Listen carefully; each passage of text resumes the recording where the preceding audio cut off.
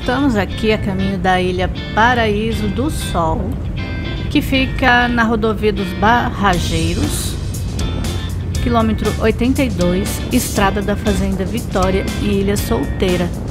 Tem um trecho de terra mais em boas condições, dá para ir tranquilo com carro de passeio. Telefone de contato eu vou deixar na descrição do vídeo. E a ilha faz jus ao nome, é realmente um paraíso. Lá você tem a opção de acampar embaixo dos coqueiros. É muita sombra assim o dia todo, é perfeito.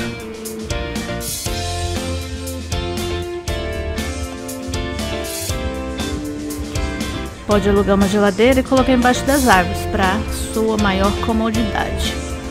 É uma área ampla, bastante ampla aí mesmo para o seu lazer. Legal é para ir com amigos, com a família. Bastante local aí para você passear, né? Dar uma voltinha.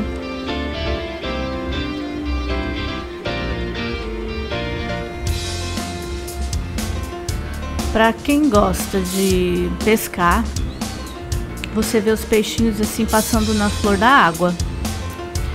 E é o local aí para quem quer pescar aquele tucunaré aí de responsa.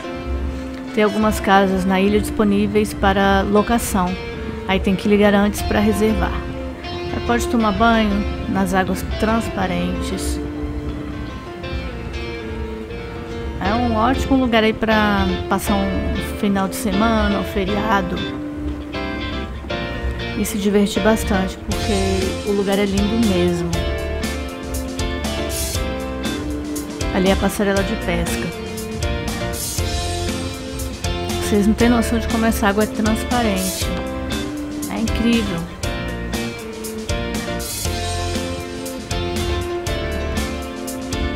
É, a gente viu até uma lontrinha nadando aí no rio.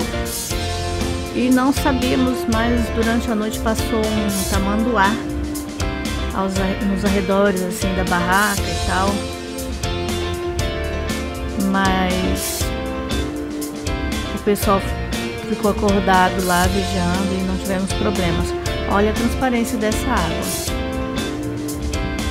Se parar aqui e ficar observando, consegue ver aí o tucunaré.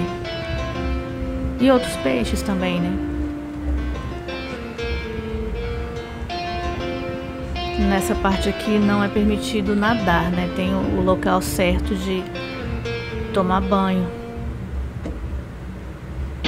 Aqui é para pesca.